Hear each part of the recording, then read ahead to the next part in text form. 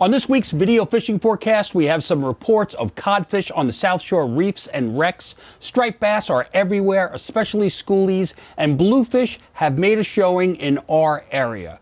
This and our correspondents from around Long Island, all here at thefisherman.com. The fishing news is sponsored by these fine partners. The May issue of The Fisherman is out now. Check out the Bluefish article by Ed Masunis. Tony Salerno has a great read on early season fluke. And have you ever wondered, with all the jigs out there, which is the right one and when? Dave Pickering has the answer. The magazine is on its way to your mailbox now and can be viewed digitally at thefisherman.com. With a check of this weekend's weather, we have News 12 meteorologist Rich Von Ohlen.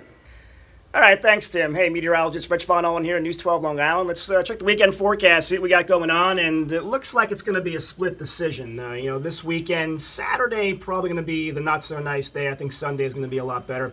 Water temps, you know, it's been chilly last couple of weeks. I haven't warmed up too much, 40s and 50s. That water's still kind of cold.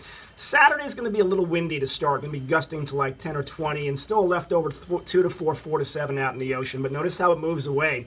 Start to see things improve later Saturday afternoon, Saturday night. And I like Sunday. Looks nice, you know, 2 to 3, 2 to 4 feet as uh, the seas really calm down quite a bit. So Sunday, pick of the weekend. Futurecast on Saturday, the winds, you know, north, northeast, uh, you know, kind of settling down late in the day. So if you're to do something Saturday afternoon, should be better. And then going into Sunday, you know, the, the clouds move out, the winds drop out. Looks like a light and variable to northwest breeze, about 5 to 10. So that's going to be the pick of the weekend. And then a southwest breeze late in the day.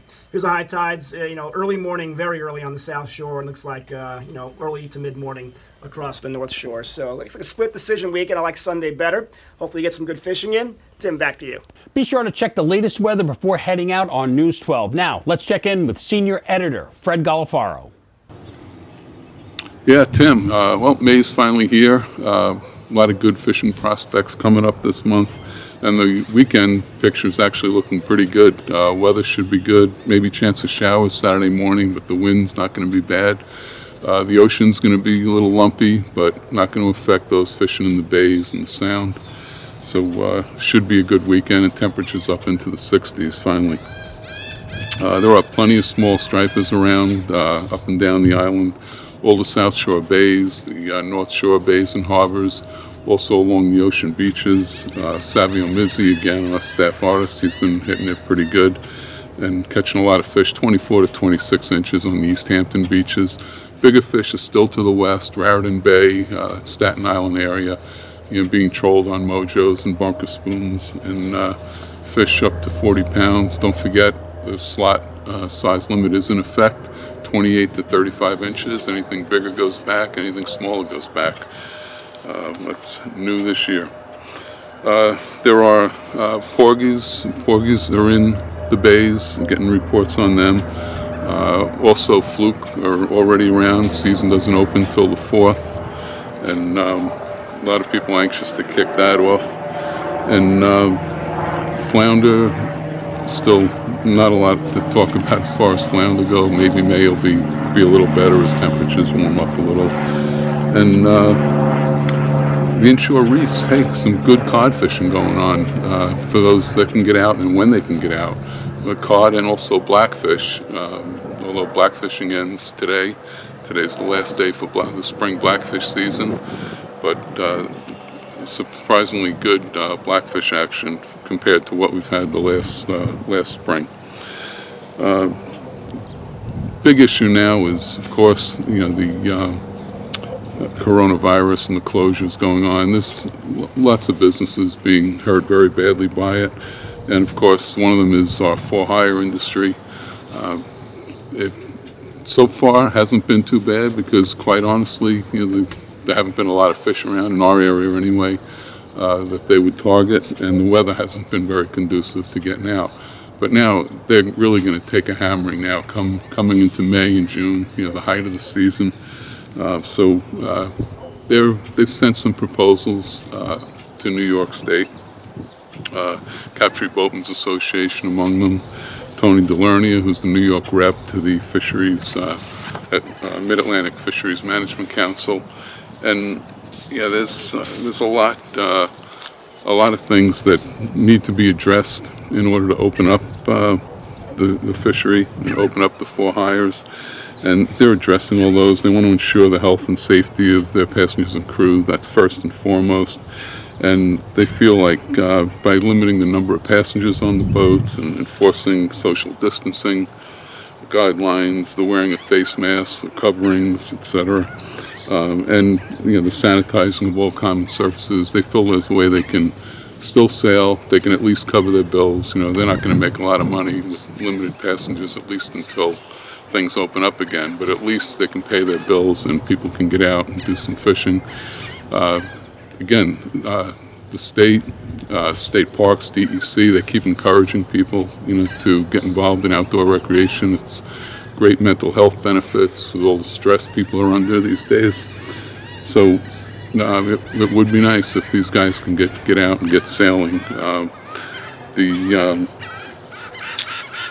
next uh, opening, it looks like, is May 15th, so hopefully something could happen by then. Uh, but certainly by the end of May, it'd be nice if uh, these guys can get back in business and people can get out on those boats. So we'll uh, we'll see what happens. We, you know, just pray that this uh, COVID-19 threat uh, continues to diminish and we can all get back to doing the things we love to do most. Okay, Tim, back to you. For you yackers out there, the Fisherman's Kayak Clash is about to begin. Here is the New England editor, Toby Lapinski, with all the details. Thanks a lot, Tim. Yes, um, this Friday, May 1st, um, kicks off a brand new subscriber only kayak fishing tournament, which we've been telling you about for the last couple of months Fisherman Magazine's Coastal Kayak Clash.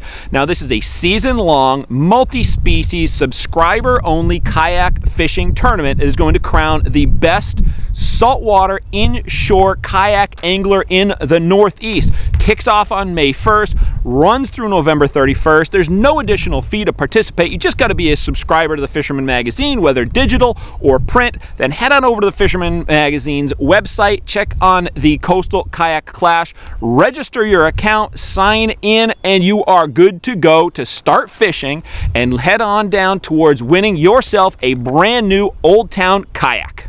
With this first report, we have Timothy O'Rourke from Montauk. As you get to go and enjoy some fishing, take the time to go to any of your tackle shops and think about your charter boats. These are the guys that are really going to need help with this, especially the bigger party boats. Uh, maybe if you can find a little extra cash and get a gift card or uh, book a trip ahead of time, they'd appreciate it. In regards to the fishing here on the East End in Montauk and East Hampton, a lot of small schoolies, great fish for the kids, uh, plenty of fish on the beach and in the bays and the size of the fish are getting bigger. So fish up to 25, 28 inches, and there's a lot of bait activity on the beach. From Shinnecock, we have Mike Dean. Hope everyone's doing okay. And uh, fishing dropped off a little bit this week, kind of to be expected with the with the cold snap, kind of funky weather. Saturday was gorgeous. Got a couple of fish nothing too great. Mostly concentrated in the back bays using uh, like white bass assassins, paddle tails, small Mag Darters. Not too much of a top water bite, even though I thought the sun was really going to warm things up enough for it. But um, you know, we're kind of back to cloudy and uh, and cold. So we'll see. The bluefish and weak fish should be showing up uh, anytime now. There were a number of boats out over the weekend. I saw at the usual holes. Uh, didn't hear of any catches. Did hear of a couple of keeper blackfish taken off a few wrecks east of Shinnecock, um, but not like really lights out fishing. Just kind of happy to be on the boat and out on the water. Uh, really nice thing. The marinas were able to open back up. Let's keep all those charter guides and captains uh, in mind. Uh, can't hurt at all to book a trip, figure out the date when this is all over, leave a deposit. Definitely would be a welcome thing by these captains that have given us a lot of great fishing memories. So, uh, expecting things to get a lot better, not just with fishing overall. Commerce is ahead. Take care, everyone. Talk to you next week. Kirk Fay has a great South Bay report. Thanks, Tim. Hey, everybody. Um, this is Kirk from Fishgack. So far, I've been really concentrating local um, I've made it as far as um, the Robert Moses Bridge, but other than that, I've really been staying close to home, which uh, which is Blue Point. Um, there's a lot of small bass um, in the bay, which is wonderful to see. I know a lot of us are waiting for those fish to move out of Raritan Bay and head our way. But as for now, there's nothing wrong going out and catching schoolies, especially when it's not a pick I mean, you, you know, it's it's basically a fish on every cast. Um, no no secret in what to use. I mean, I'm a big Z-Man guy. I use a lot of Z-Mans. Half ounce jig head um, with just about anything Z-Man makes. And along with that, for years, I've been throwing my old standby, which is a six inch um, pearl swim shad. Um, the make I use is Tsunami. Um, so that's what I've been doing back here. I just got in actually. Um, and we had an excellent morning. The fish just kept biting um, through the tide. We probably had four hours of fish. So uh, if you get a chance, get on the water and grab some of those schoolies, and uh, I'm sure the big boys will be here soon. Captain Al Lorenzetti has the latest from Fire Island. Hey Tim, Fire Island report. Uh, things are still happening. A little extra activity this past week here. I did a little cod fishing on a couple of wrecks offshore and had a nice bunch of fish. I had two keepers and about a dozen fish overall. And uh, it was fun. It was nice action and certainly great eating fish. I love to cook codfish. Uh, inside, you put down a chum path just about anywhere and you're going to catch small striped bass, maybe a keeper here or there, ju just keeper, you know, 28, 30 inches, something like that. But they're mostly small fish, 22, 24 inch average. And uh, so things are looking up. I expect to see the first bluefish show up here in a few days on the flats. And uh, that's about it for this week there, Tim. So looks like Sunday's going to be a great day too. So for inshore and offshore fishing. So keep that in mind. Talk to you next week, Tim. Marinas are open and Kale's Family Boating Center is ready to get you out on the water. There's no better way to practice social distancing when with the family enjoying the outdoors. Check out a Sea Pro powered by Suzuki. Low rates make it the perfect time to buy. Visit kalesfamilyboating.com for more information. With the freshwater and fly action, we have Paul McCain. The freshwater fishing has been really good. I mean, we the rivers are a little high uh, both on Long Island and upstate. But on Long Island, where Spring Creeks, fishing is good. The Carmans River, the Carlls River, all catching fish. Um, it's uh, the salt water. it just stripers all over the island. Uh, a good friend of mine uh, out in Montauk, Tim O'Rourke, Captain Tim O'Rourke, he's reporting uh, fish on days he can get out. You know, it is windy out there. So uh, you do what you have to do when uh, he's been catching fish. Uh, I also would like to talk to Joey Pizza. Uh, he actually uh, got a fly rod for the first time, went out to a local area park, and he did very well. He caught his first striper of fly. Uh, I think he's the one that's hooked now. So get out there where you can. I'm just looking for the bluefish as soon as this weather calms down. From Oceanside, let's check in with Captain Joey Leggio and his new haircut. Uh, really not much to report with this COVID going around. It's hard to get out. Uh, did go out one day with my buddy Paul, hit the local reefs, and uh, the cod fishing was very good. We had nine codfish. Also, we had a bunch of blackfish. Uh, back bays are lighting up, using little bucktails like this little spur right here, tipped with some fat cow jig strips. Uh, there's plenty of bass around, you know, all schooly size. Uh, and that's basically it. You know, hopefully we get out soon. This COVID disappears, and we can all get back to having a normal life. From Jamaica Bay, Joseph Ben Savenga has been catching schoolies in the back. He said less bunker, more rain bait, and slower fishing this week. He also has been hitting some of the local back bays in the Oyster Bay area with bass assassins and has been picking away at some small schoolies. Now let's check in with Chris Ludwig. So this last week I decided to put the plugs down and do some chunking just to survey what's going on in the open beach. And in my opinion, the best way to do that is with a piece of fresh bait. We've been using bunker, and that hasn't been an issue to find because they're in the backwaters, they're in the inlets, they're on the open beach. You really just got to look. Moving forward, I'm going to be referencing my area to about 25 miles to the east of me. And on Saturday, we started catching these stingrays, or more correctly, skates on the beach. They had this brown tint to them with these black dots or spots all over them. That was very cool. There was also sea robins out there. Uh, that was cool to see. There's got to be bait attracting them, and I can only think that things are following the sea robins. Some guys were catching fluke on the open beaches too. They're not in season, but it was cool to see. And a few nights later, during the dark hours of the night, I put on some big chunks, hoping, you know, hoping for a big guy in the striped suit. But I got pounded by something else, and I had some 50 pound Yo-Zuri on, and this line got peeled. I mean, it looked like some big teeth were just scraping all along it. Could have been a bluefish, most likely a bluefish, but I'm not even going to say it. So I hope you guys are out there and being safe. And I know this report's long, but one last message. If you're driving on the beach at night and you see guys fishing in the water, turn your lights off or at least down. If I can do it, you can do it. Have a good day, guys. Be safe and get out there fishing. Take care. The Fisherman is now on Amazon Fire TV, Roku, Apple TV, and Android TV. So now you can watch this broadcast and our other video content on the big screen. Just search for The Fisherman TV on any of those devices. From Staten Island, here is Mike Sentry. Past few days has been outstanding for Tog.